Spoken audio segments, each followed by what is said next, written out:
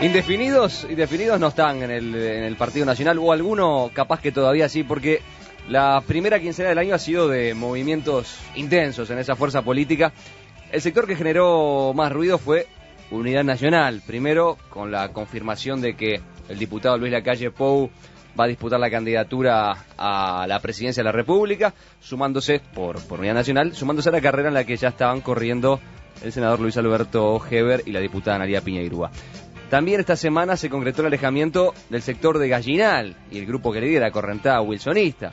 Después de una reunión que mantuvo el martes en Maldonado con el expresidente Luis Alberto Lacalle, Gallinal dijo que Unidad Nacional ya no existe más. Fuentes políticas han asegurado que Correntada Wilsonista en su conjunto está evaluando ahora hacer un acuerdo político con Alianza Nacional, aunque el senador Gallinal ha afirmado por ahora que su sector se va a mantener independiente. Mientras tanto, en el otro sector fuerte de Alianza Nacional también se produjeron algunas novedades. A fin de año se conoció el alejamiento del diputado Javier García y su grupo, la lista 40 de Montevideo. García todavía no ha explicado oficialmente por qué se fue del sector que lidera Jorge Larrañaga. Se sabe que el diputado ha mantenido conversaciones con aire fresco, el grupo que lidera el diputado La Calle Pou. Y además, sumándole una perla más a este collar, la diputada Verónica Alonso, que pertenecía a Wilsonista, concretó en los primeros días del año su incorporación justamente a Alianza Nacional. ¿Cómo ven todo este movimiento? Bueno, eh, son movimientos diferentes, aunque notoriamente se podría decir que es un gran movimiento de pases. Vamos a empezar por un hecho que es mucho más normal, natural, que es alguien que se proclama precandidato. Eh, voy a hacer un comentario porque lo he escuchado, porque lo he seguido bastante, etcétera. Es alguien que no lo ayuda el apellido, ¿eh? no, no, no, no es que se proclama candidato porque se llama la calle, es alguien que se construyó su espacio, en particular en Canelones, trillando Canelones de arriba para abajo. Segundo, es un tipo con ideas propias. Yo lo he escuchado, no estoy de acuerdo con la mayoría de ellas, pero tiene su perfil. Tercero, es un hombre eh, eh, arriesgado, que se arriesgó con proyectos de leyes, etcétera.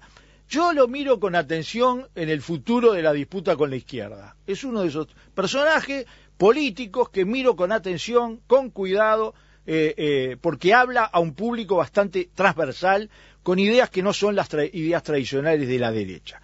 Eh, estoy en las antípodas en muchos temas.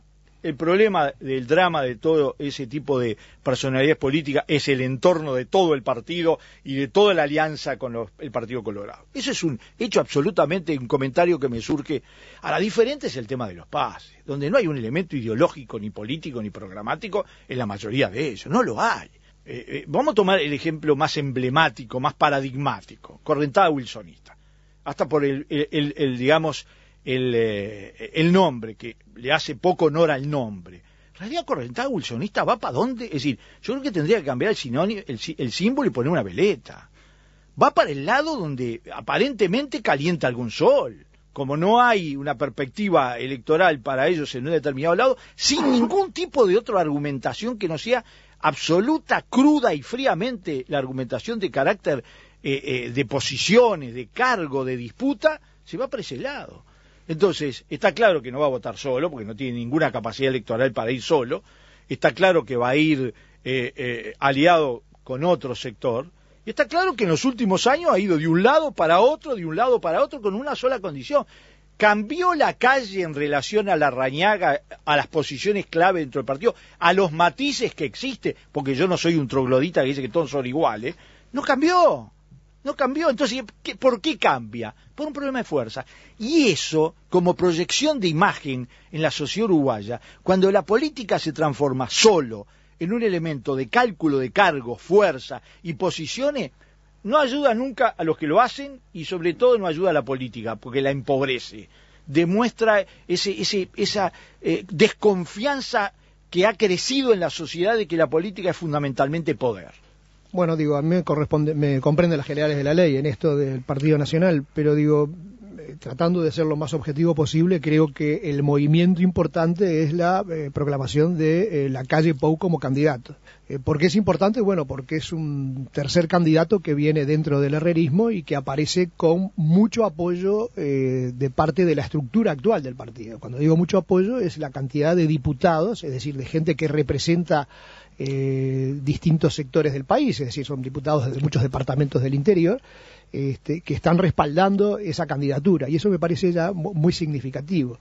creo que además un candidato como él, como bien decía Esteban, con algunas ideas pongo por ejemplo el caso de, la marihuana, ¿no? Antes, Que, antes que mm. nadie hablara del tema, antes que el presidente Mujica lanzara la idea de que el Estado debía vender la marihuana, bueno, fue el que planteó, hay un problema, digo, la gente puede es, es, libre para consumir, pero no puede plantar sus propias este, plantas de marihuana, este, tiene que comprar y ya sí la comercialización es un delito, hay, hay realmente algo ahí que no cierra, y creo que fue un acto de, de valor de su parte plantearlo, como en otros temas, como en otros temas.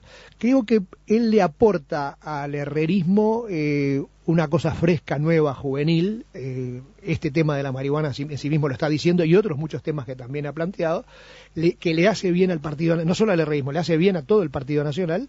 Este, supone además un recambio generacional muy importante en un país donde el promedio de nuestros gobernantes, bueno, miremos, ¿no? Está 60, 70 años para arriba, este, lo que es, es realmente un poco eh, excesivo. Y creo que es la gran novedad dentro del partido y que en función de esa novedad se van a dar los alineamientos actuales y futuros ¿no? Digo, mencionabas, mencionabas tú recién, eh, Acle, a, Javier García. Bueno, eh, el movimiento de Javier García es muy importante. Yo no sé, eh, los oyentes en general, si han seguido la trayectoria de este diputado que era de Alianza y ahora pasaría a, las filas de la calle Pou, del, herrerismo es realmente muy meritorio. Eh, eh, aparte de que fue candidato a la intendencia, él es un médico, pero es un hombre de quien lo sigue es de los diputados realmente más serios que hay en el Parlamento, y incluyo en esto a todos los partidos, porque eh, en, el propio Parlamento todos saben quién es quién y quiénes hablan en serio, y uno se da cuenta cuando va al Parlamento, cuando algunos hablan y todos hacen silencio, y cuando otros hablan y todos conversan a la vez. ¿no? Este, y García es de los que la gente escucha. Este, a mí me parece un movimiento muy importante el de García hacia la calle, como otros movimientos que se han dado y que se van a dar dentro del Partido Nacional de adhesión a la calle Pou. En cuanto al apellido, si lo ayuda o si no lo ayuda, bueno, yo en ese sentido este, creo que los apellidos en principio ayudan. Este, en principio ayudan porque, para empezar, este, son como una marca, este, permiten identificar a una persona.